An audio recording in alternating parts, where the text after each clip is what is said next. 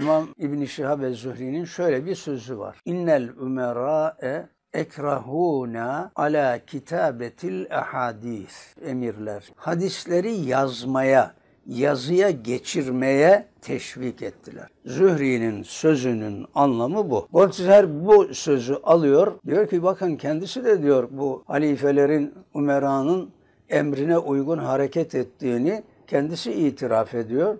Şöyle diyor. İnne haulâil umera ekrahûne ala kitabeti ehadis. El ahadis kelimesinin başındaki lamı tarifi kaldırıyor. Şu emirler bizi hadisler yazmaya teşvik ettiler. Yani hadisler uydurmaya. Göz göre göre ibareyi tahrif et. Hadisleri yazmak ayrı laf, hadisler yazmak ayrı laf. Adam bu hale getiriyor bunu. Böyle bir cinayeti işliyor. Müsteşriklerin piri Goldziher.